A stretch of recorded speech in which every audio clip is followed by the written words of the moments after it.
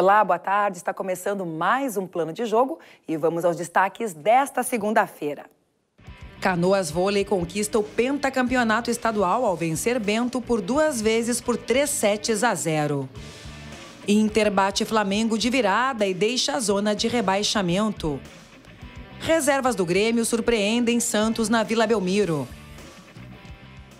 E Canoas conquistou o pentacampeonato estadual de vôlei masculino ao vencer o Bento por 3 sets a 0. O time da casa comemorou o título ao fazer o mesmo placar do primeiro jogo da decisão, disputado na sexta-feira em Bento Gonçalves. O pentacampeão fez 3 sets a 0, parciais de 25-19, 25-18 e 25-22. O estadual foi disputado por apenas três equipes. Além dos finalistas, o Vôlei Sul de Novo Hamburgo também participou da competição. Agora as duas equipes vão disputar a Superliga Nacional. Os dois gaúchos estream em Minas Gerais. No dia 27, o Bento Vôlei enfrenta o Minas Tênis Clube. No mesmo dia, o Canoas pega o Montes Claros. A atual campeã da Liga Nacional de Futsal, a ACBF de Carlos Barbosa, foi eliminada dentro de casa pelo Floripa na decisão por pênaltis. A Sueva e Atlântico são os representantes gaúchos na próxima fase da Liga Nacional de Futsal. E a equipe de Venâncio Aires garantiu a vaga ao vencer o Concórdia por 3 a 1. E a história da difícil classificação do time de Erechim você acompanha agora na reportagem do jornal Bom Dia. O ginásio do Caldeirão do Galo ficou pequeno para os mais de 3 mil torcedores que acompanharam a partida entre Atlântico e Marreco, que disputaram uma vaga nas quartas de finais da Liga Nacional de Futsal.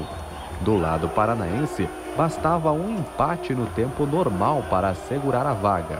Já para os gaúchos, a história precisava ser diferente. A equipe do Atlântico entrou em quadra com uma difícil missão vencer os paranaenses duas vezes. Isso porque o Atlântico havia perdido o jogo da ida para o Marreco. Mas aqui dentro do Caldeirão do Galo, precisava vencer na primeira etapa e levar o jogo para a prorrogação, onde deveria vencer novamente. Missão difícil, não é? Não para a equipe do Atlântico, com a força do seu torcedor.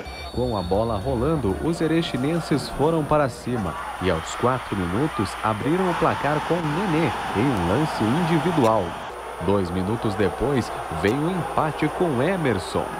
Na pressão, o Atlântico voltou à frente do placar aos 12 minutos, com Keké, que recebeu na área e desviou do goleiro. No segundo tempo, a equipe do Marreco voltou melhor à quadra e, faltando cinco minutos para o término do jogo, chegou ao empate novamente com Banana, que recebeu na área e empurrou para a rede. Com o placar em 2 a 2, a vaga seria dos paranaenses. E para piorar, faltando apenas 10 segundos para o fim da partida, o Alan Nenê, um dos destaques do Atlântico, foi expulso do jogo. Seria este o adeus para os erechinenses na competição? Não para Café, que faltando apenas 3 segundos cobrou escanteio que desviou em Keké e foi para a rede. 3 a 2 para o Atlântico, um lance que levou a torcida à loucura. Eu acabei de falar, se o, se o jogador não correr, não lutar com uma torcida dessa, acho que ele pode parar de jogar bola, que não tem como. Ela vai levando a gente, vai levando a gente. A gente chama e ela empurra. Eu acho que foi um dos fatores principais para a gente vencer o jogo de hoje. O placar era suficiente para ir para a prorrogação.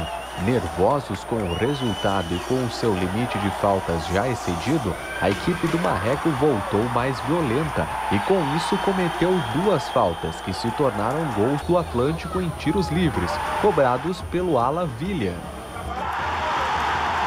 A confirmação da vaga veio dos pés de Lucas, que em um belo lance fez 3 a 0, fechando o placar e garantindo a emoção para o torcedor erechinense.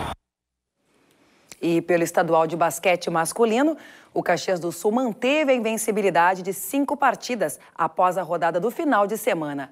O time da Serra venceu o Corinthians de Santa Cruz na sexta-feira por 79 a 40 e no sábado superou o Arranca de Cruz Alta por 106 a 63. O Caxias volta à quadra esta noite para enfrentar o Guarani em Venâncio Aires. O assunto agora é futebol. Pelas semifinais da Série C do Campeonato Brasileiro, o Juventude perdeu por 2 a 1 para o Boa Esporte em Caxias do Sul. Poupando vários titulares, o time de Caxias levou dois gols em cinco minutos e precisa vencer por dois gols de diferença para disputar o título da competição. O time da Serra entrou em campo com apenas quatro titulares. O técnico Antônio Carlos Zago poupou o grupo para apostar tudo no jogo contra o Atlético Mineiro na próxima quarta pela Copa do Brasil. A estratégia não resistiu a um minuto de partida. O Boa Esporte abriu o placar logo após o apito inicial. Felipe Matheus, livre dentro da área, recebeu o cruzamento na medida e só empurrou para o fundo das redes. Aos cinco minutos, Daniel Cruz acertou um chute forte no ângulo e fez 2 a 0. Os donos da casa conseguiram descontar aos 27 do segundo tempo com Saranduva.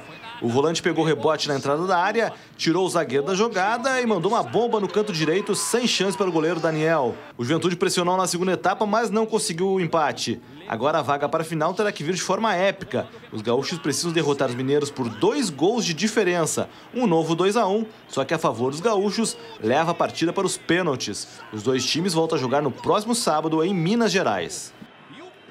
E pela Série B, o Brasil de Pelotas perdeu para o Bahia por 1 a 0 na sexta-feira e caiu para a nona colocação na tabela.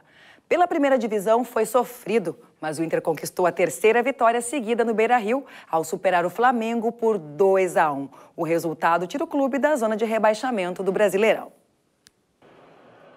Após um primeiro tempo morno, a etapa final foi recheada de emoções. Empurrado por mais de 35 mil torcedores, o Inter voltou com nova postura e acuou o Flamengo na maior parte dos 45 minutos finais.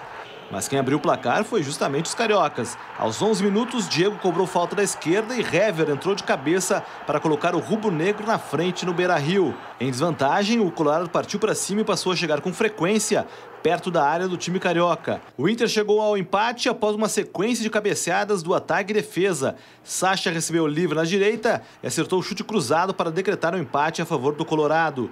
O gol incendiou a equipe da casa, que foi com tudo em busca da virada. O segundo gol começou com Valdívia, que chutou cruzado. Muralha falhou e deu rebote. Vitinho foi premiado com o gol da virada. Com o resultado, o Inter chegou aos 36 pontos, um a mais do que o Vitória, primeiro time na zona de rebaixamento.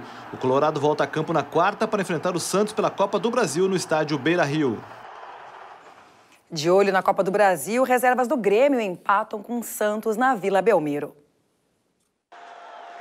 Os reservas do tricolor surpreenderam o Santos e conquistaram um ponto valioso fora de casa. O técnico Renato Portaluppi preferiu focar no jogo contra o Palmeiras na quarta-feira pela Copa do Brasil. Mesmo desfalcado, o time reserva abriu o placar com gol de Everton aos 9 minutos de partida. O Peixe empatou aos 20. Lucas Lima cobrou escanteio na área e Fábio Nogueira cabeçou no canto direito. A bola ainda bateu nas duas traves antes de entrar bem devagar. O Grêmio chegou a 47 pontos e ocupa a oitava colocação. A gente vai a um rápido intervalo e já volta.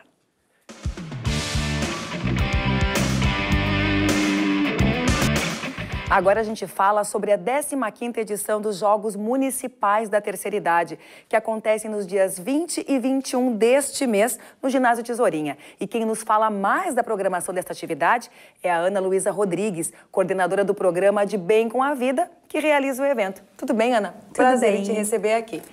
Conta para nós o que, que é esses Jogos Municipais da Terceira Idade. Quais as modalidades, quantos atletas envolvidos? Então, boa tarde a todos, boa tarde. Uh, os Jogos Municipais da Terceira Idade, eles são um, um, evento esportivo instituído por uma lei municipal, que eu vou ter que olhar, porque eu Não nunca lembro problema. o número, é 8.794 de 2001, proposta pelo vereador professor Garcia. E em 2002 nós tivemos a primeira edição e esse ano, então, nós temos a 15ª, como tu já falaste. Uh, está previsto o, a participação de 120, 130 atletas, uh, pessoas, homens e mulheres acima de 50 anos.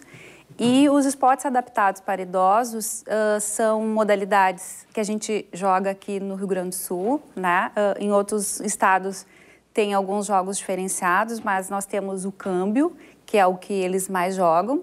Tem o basquete reloginho, o handebol por zona. E esse ano estamos lançando o futsal para a terceira idade, que é uma ideia de um professor nosso aposentado.